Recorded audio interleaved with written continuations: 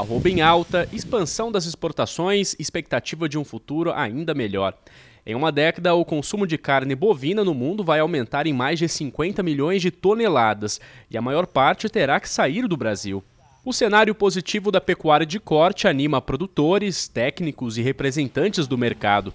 E eles querem aproveitar essa oportunidade buscando o máximo de conhecimento em eventos como a Beef Expo. Dois dias de palestras para refletir e conquistar maior eficiência. Na opinião do presidente da Sociedade Rural Brasileira, é necessário ter uma cadeia mais integrada.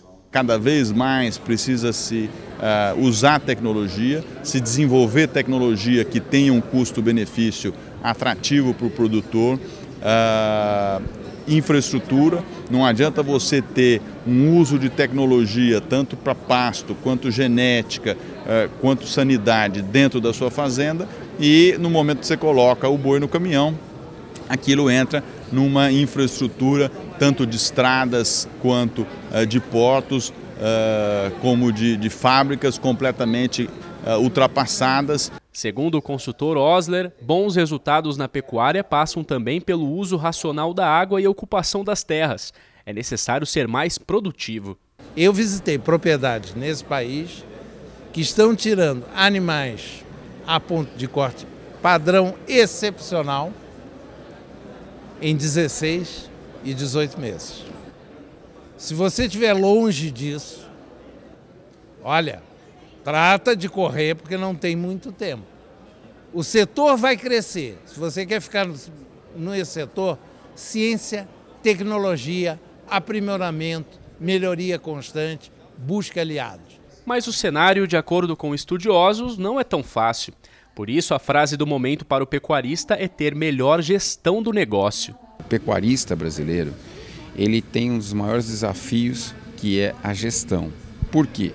Porque ele tem que aumentar a produtividade dos fatores de produção, todos sincronizados. Então não posso aumentar a oferta de alimentos se não melhorar a oferta de, de suplementação, se não melhorar a genética, se não melhorar a estrutura física da fazenda e se não melhorar o material humano.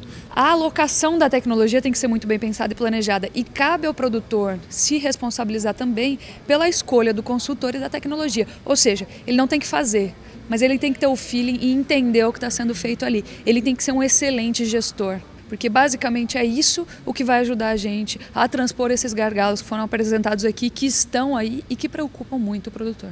Consumidores brasileiros e do exterior estão de olho ainda na segurança alimentar. E por isso, ao usar medicamentos veterinários, é preciso seguir as doses e recomendações de bula.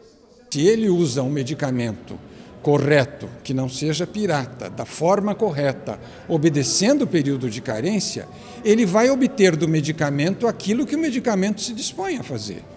No caso, pode até levar a um aumento de produtividade.